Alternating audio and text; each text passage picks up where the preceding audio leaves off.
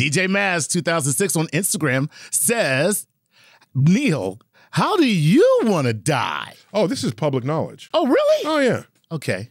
yeah. I bet if you typed, "How does Neil Tyson want to die?" Hold on. No. Nuh-uh. I'm gonna, I'm do You it. gonna test it? I gotta test it out since you said it. because Okay, I got go my on. phone handy. Hold on. All right, here we go. Uh, I'm gonna I'm gonna talk to my phone. How does Neil deGrasse Tyson want to die?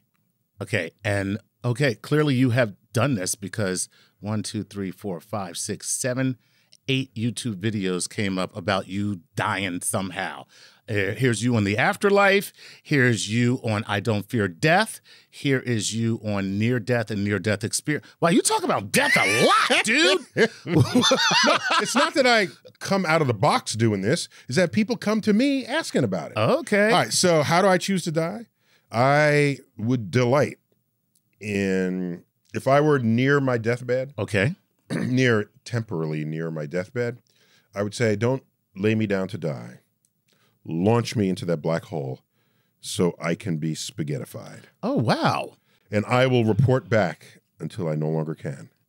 Sweet. And I'll be the first human um, to be spaghettified. spaghettified. Yeah. Nice.